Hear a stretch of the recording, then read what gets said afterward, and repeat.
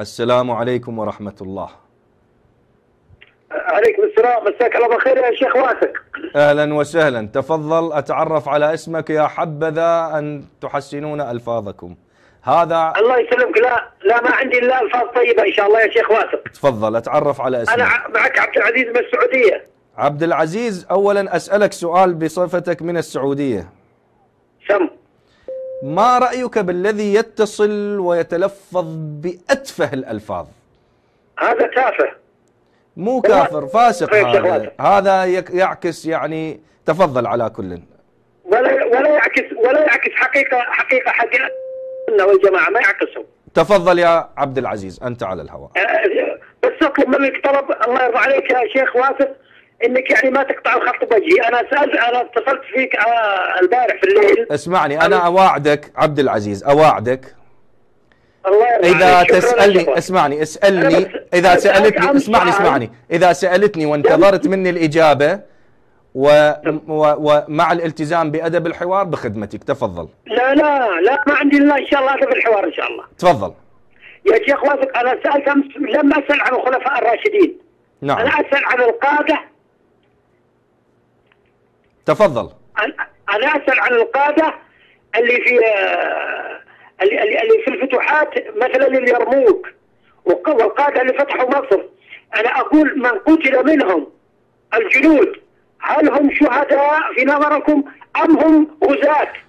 على كل أنه الفتوحات آه، في عهد الخلفاء لم تكن وإن كانت هي فتوحات في نظري وحسب التحقيقات. طبعا هذا يراد له بحث مفصل مو موضوعنا لكن أنا أجاوبك على جعجالة. لم تكن آه، لعله لم تكن كما أرادها الله عز آه، كما أراد رسول الله صلى الله عليه وآله.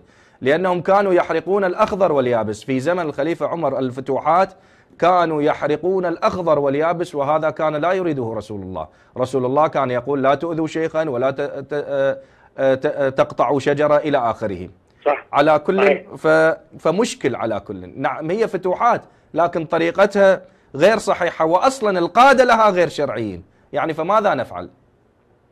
يعني يعني مثلا القعقاع بن عمرو أبو عبيده عمرو بن الجراح. القعقاع يعني هم- اسمعني. القعقاع سأجاوبك هل هم يعني مثلا س- منافقين أو مسلمين في نظرك؟ سألتني. القعقاع يا سيدي يا عبد العزيز شخصية وهمية غير موجودة في التأريخ. أرجو أن تعرف ذلك. شخصية ما وابو موجودة وابو عبيده عمرو بن الجراح وخالد بن وليد هؤلاء طبعا هؤلاء كل له قصته. القصة طويلة يا عبد العزيز. أرجو أن تسألني في موضوعي لأني أنا لو أحضر لك سيرة خالد بن الوليد آه، ينزف جرحي من جديد. آه. وفقك طيب الله. وموضوع آخر بعيد عن هذا الشيء طيب اسألني عبد العزيز عبد العزيز اسألني أسألك سؤال اسمح لي. سم. ما رأيك في البخاري؟ صحيح البخاري عندنا هو ثاني كتاب يعني بعد كتاب الله سبحانه وتعالى. ما رأيك؟ إلا إنه اسمعني إلا اسمعني. يؤخذ عليه اسمع. يؤخذ عليه آه، آه، يا شيخ واثق وهذا أنا متأكد منه 100% إنه إنه آه، صارت عليه إضافات كثيرة جدا. يعني خلال ال 1200 سنة هذه الأخيرة صارت عليه إضافات هو صحيح مسلم. طيب يصل الآن لنا- الآن أوكي. يصلنا نحن في لم يصل لنا كما ينبغي. طيب أنا أسألك سؤال سؤال.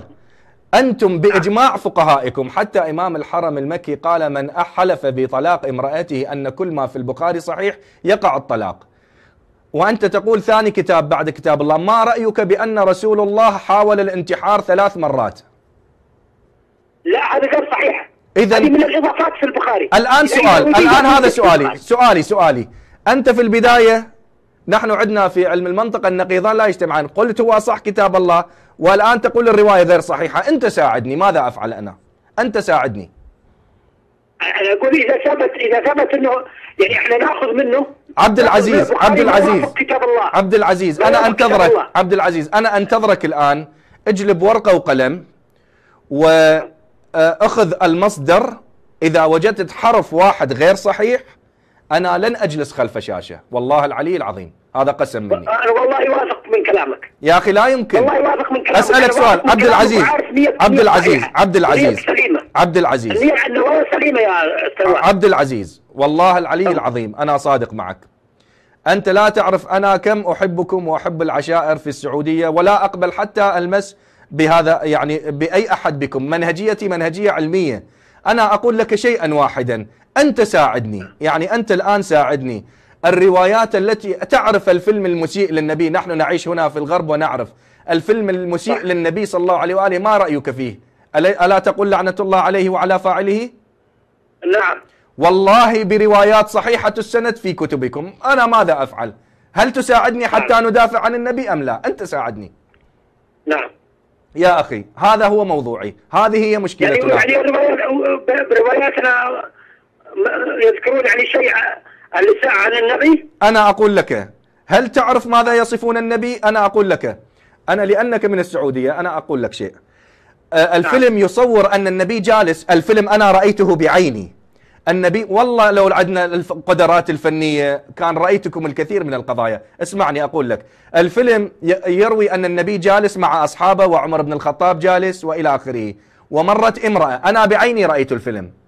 رسول الله ما تحمل دخل وأنا رأيت طبعا يجل رسول الله دخل إلى الخيمة. وبدأ الله يجل وجهك يعني يمارس الأمور الغير شرعية مع هذه المرأة وجدت اسمع يجل رسول الله أنا الآن أسألك إذا عندك أنت شيخ جامع جالس أنت وياه يعطيك درس يبلغك بالرسالة أنت وأصحابك ور- وشيخ جالس وتمر امرأة جميلة الشيخ على غفلة راسا يستأذن يقول أيها الم- الأخوة أنا أ- أن أستأذنكم.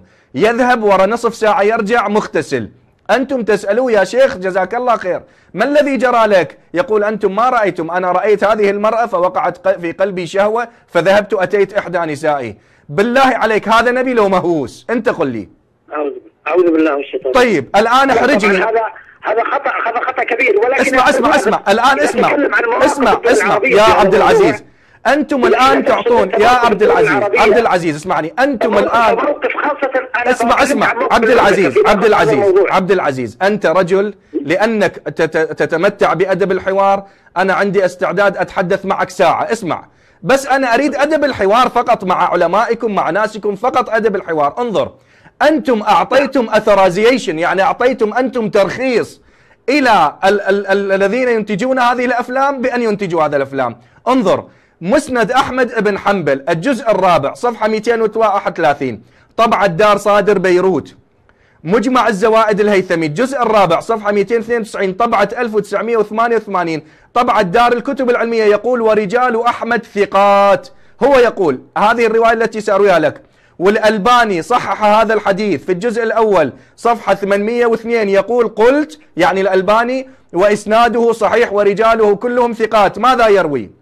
يروي آه، عن أزهر بن سعيد الحرازي قال سمعت أبا كبش الأنماري قال كان رسول الله صلى الله عليه وآله أنا أقول جالسا في أصحابه فدخل ثم خرج وقد اغتسل.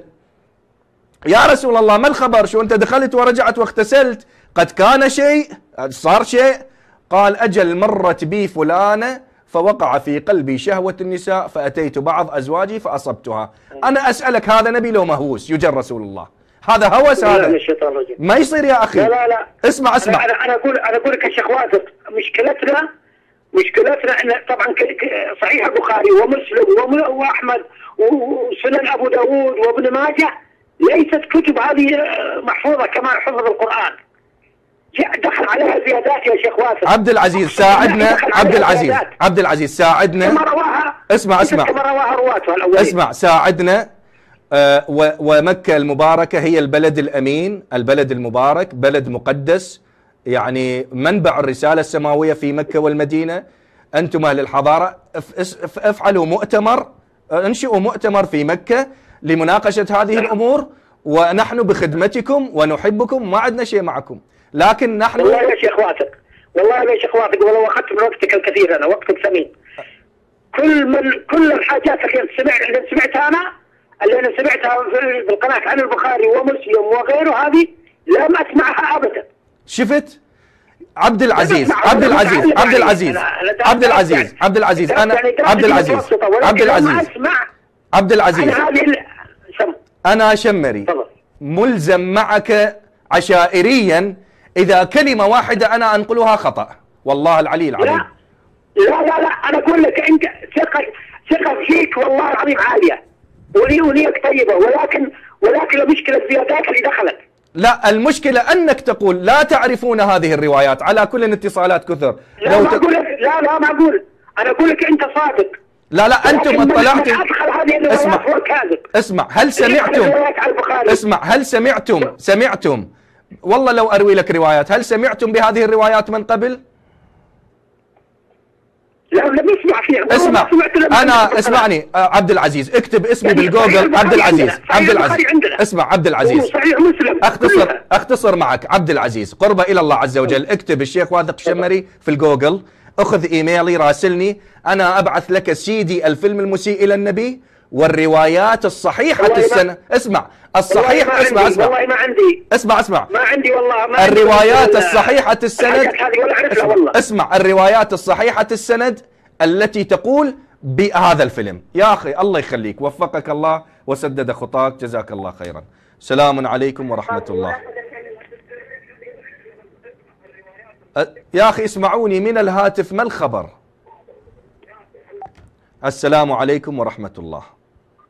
السلام عليكم اغاتي وعليكم السلام ورحمة تحية الله طيبة. أستاذ واثق الله يحييك وشكرا جزيلا لك وعلى طولة النفس. ونحيي الأخ عبد العزيز المتصل معه أتعرف على اسمك؟ آه ونحن عبد العباس الزهيري صديقك الذي كلمتك في الأمس. أهلا وسهلا بعبد العباس تفضل. حياك الله. أستاذ واثق أقول هذا الأخ عبد العزيز احييه على آه، سلامة آه، منبته. أكيد. ويبدو من الكلام وهذا هو هدفكم. عبد العباس كل إنسان ما يقبل هو مو فقط عبد العزيز أي إنسان فطرته سليمة يبحث عن الحقيقة ما يقبل الإساءة إلى النبي. ما يقبل الفطر من كانت فطرته سليمه أستاذ واصف نعم. ما يقبل برسالة النبي من كانت فطرته سليمه الآن أنا أعطيك مثلا. دائما على كل يكتبون عن أمر المؤمنين أنفسهم. ونرى من من من يتسمون